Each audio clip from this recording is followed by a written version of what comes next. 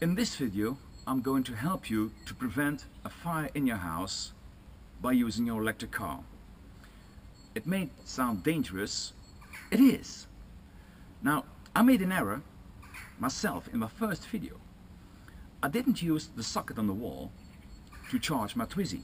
I used an extension cord. Now it was Renault themselves that contacted me and said, Koen, you are making an error uh, doing that there is too much current in the wire to allow things like that. Now, a Twizy uses about 10 amps while charging. Now, if you don't know electricity, I can tell you you are already using half of the capacity of your line, of your power cord. Now, if an electrician would see something like this, he would go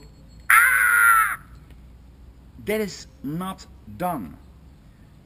You have all the cables in a bundle together and it creates, when being charged, an induction. Now it's something technically, you don't have to understand it. I can tell you the cable heats up. And it's even so hot that it can melt the plastic and cause a fire. Now if you have something like that in your garage I'm not going to say it's a safe thing. Don't do it. Try to install a properly installed socket on the wall your Twizy is next to. I will do it for my Twizy at home too. But please, if you are using this, stop doing it. If you want to keep your house, stop doing this.